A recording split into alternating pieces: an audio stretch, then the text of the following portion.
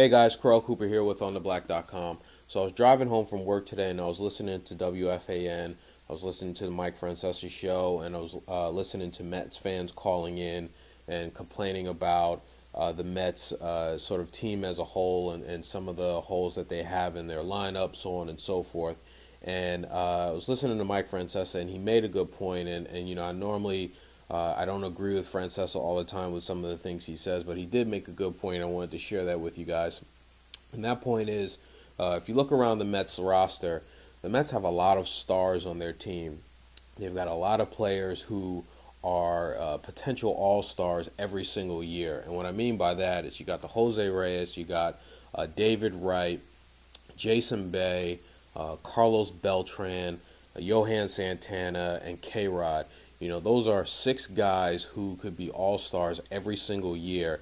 And Francesa's point was that, you know, most teams are lucky to have two or three guys that can be all stars every single year. And he went on to point out that, you know, the problem isn't with those that core group of guys, that that star lineup, if you will.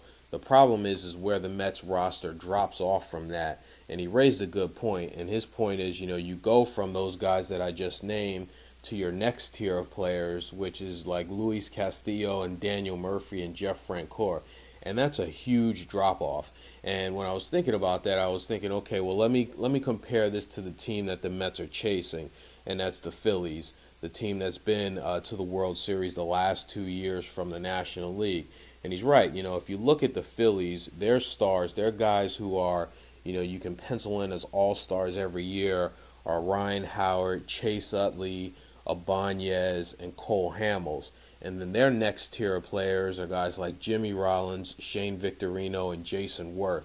That's a much better second level tier of players than the Mets have. And what that does is that makes for a better all around team, in my opinion. And, you know, th- thinking back to Omar Minaya's tenure here as the Mets general manager, you know, his main problem has always been getting that next level of player. You know, he's all he's gone out and he's made his mark in getting guys like uh, Pedro Martinez and, and Carlos Delgado and Carlos Beltran and and Johan Santana to come to the Mets. He's always uh, done a good job of of getting that star player.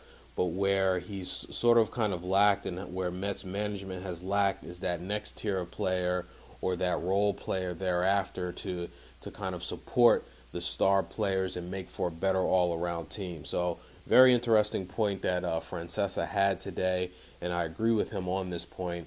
And just want to hear your guys' thoughts on the Mets roster as it shapes up going into the 2010 season, and what you guys think about sort of that next tier of player or, or, or the Mets bench players as well too, and sort of how they're supporting our overall uh, all-star cast, if you will. So let me know what you guys think, and I'll talk to you soon.